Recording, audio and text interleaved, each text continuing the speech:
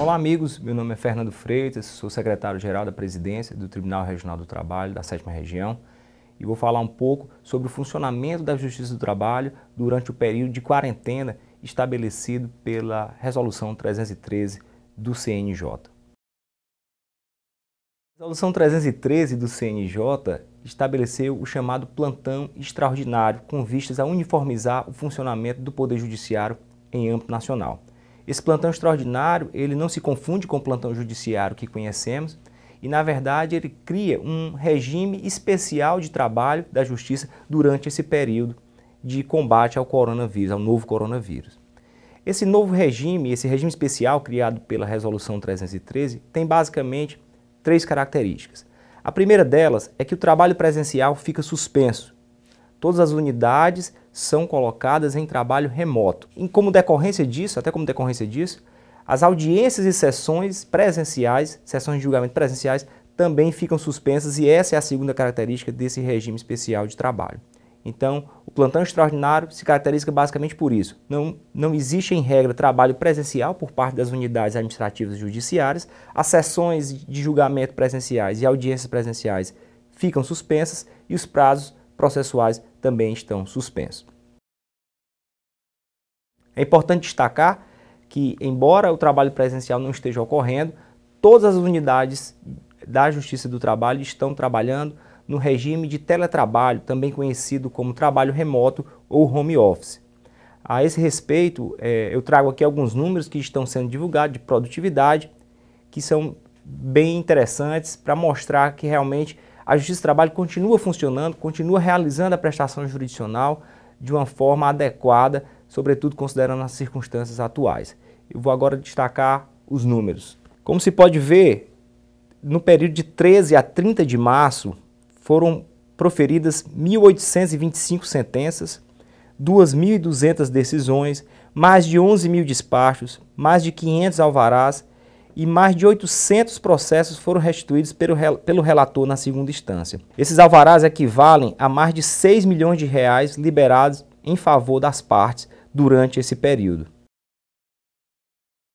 Durante o plantão extraordinário, o atendimento aos advogados e às partes continua ocorrendo normalmente, embora por meio remoto. Todas as unidades disponibilizaram canais de atendimento no nosso site na internet.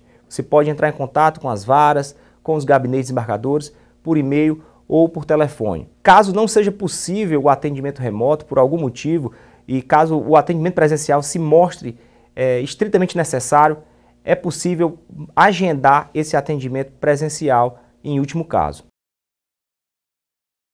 O tribunal deu atenção especial aos pedidos de alvarás. O tribunal editou um ato conjunto, número 2, 2020, e neste ato existe uma previsão específica de que todos os pedidos de alvarás serão tratados com prioridade pelas unidades judiciais.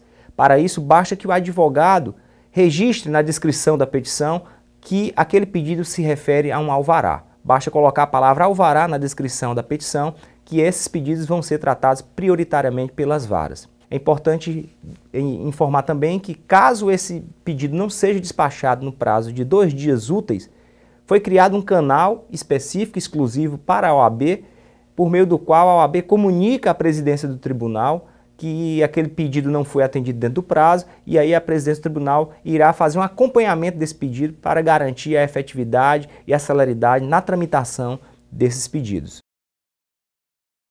Para ferir a produtividade, o tribunal continua se utilizando dos meios é, eletrônicos disponíveis, basicamente o sistema e-gestão, que tem toda a estatística é, dos processos trabalhados no PJE, e nós estamos divulgando isso praticamente em tempo real. No site existe um link por meio do qual toda a sociedade pode acessar a produtividade do tribunal durante esse período de quarentena.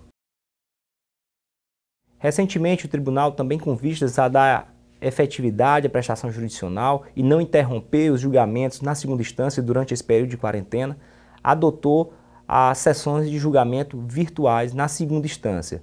Foi um ato conjunto assinado pela presidência e por todos os presidentes de órgãos julgadores que permite então a realização de sessões virtuais. Essas sessões virtuais, é interessante que se diga, não se confunde com sessões por videoconferência. As sessões virtuais ocorrem do seguinte modo: existe uma pauta que é publicada e é dado um prazo para os julgadores se manifestarem a respeito dos processos. Encerrado esse prazo, a Secretaria do órgão julgador apura a votação, dá a certidão de julgamento e encaminha o processo para o relator lavrar o acordo. Caso o advogado deseje fazer sustentação oral em um desses processos, ele deve se comunicar com a Secretaria do órgão julgador, que, no entanto, vai retirar o processo da pauta virtual e inserir imediatamente na próxima pauta presencial.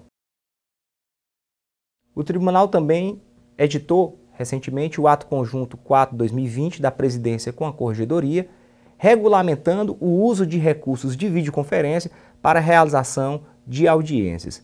Mais uma vez, o objetivo maior aqui é dar efetividade à prestação judicial mesmo durante o período de quarentena. Sobretudo audiências de conciliação. Existem muitas demissões que estão ocorrendo até como decorrência da, da crise causada pelo novo coronavírus e a Justiça do Trabalho entende que é importante que neste momento o trabalhador possa também se socorrer dos serviços do judiciário. Então, esse ato ele regulamenta e autoriza os magistrados de primeira instância a realizarem audiências por meio de recursos de videoconferência. Uma outra ação importante que o tribunal está desenvolvendo, nós estamos buscando uma parceria com o Ministério Público do Trabalho e pretendemos é, elaborar uma pauta de conciliação a ser realizada é, por meio do SEJUSC. E nessa pauta serão inseridos processos que dizem respeito, que tem como objeto ações coletivas do, do é, ajuizadas pelo Ministério Público do Trabalho. É, o Ministério Público do Trabalho já está fazendo o levantamento desses processos e o objetivo é sentar com o Ministério Público do Trabalho e as empresas, negociar, mediar a, as conciliações e destinar os recursos decorrentes dessas conciliações para o combate ao novo coronavírus, assim como já tem se observado em outros tribunais também. Por fim, considero relevante destacar que o Tribunal do Trabalho tem compreendido a complexidade, a dificuldade desse momento, a excepcionalidade desse momento. É uma crise que tem afetado a todos de uma forma profunda e por isso mesmo nós compreendemos que é o momento de somar esforços, de unir forças. E por isso tem se buscado um contato constante com a OAB, com o Tribunal de Prerrogativas dos Advogados, com a Associação de Magistrados Trabalhistas, a AMATRA, com o Sindicetima, que é o Sindicato dos Servidores, com o Ministério Público do Trabalho. Enfim, é realmente o momento de somar esforços e nós gostaríamos de afirmar que estamos realmente à disposição para dialogar, para construir juntos as soluções, para superarmos esse período da melhor maneira possível. Agradeço a todos pela atenção. TRT7 somos todos nós. Grande abraço.